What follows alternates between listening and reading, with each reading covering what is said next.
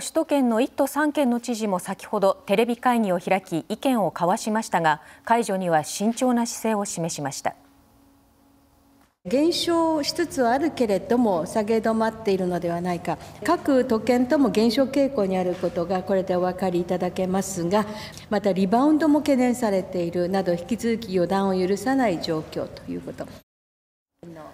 東京都の小池知事は埼玉、千葉、神奈川の各知事とテレビ会議を開き関西での緊急事態宣言の解除要請を受けてその流れで首都圏でも解除されるのではないかと報じられることが懸念されると話し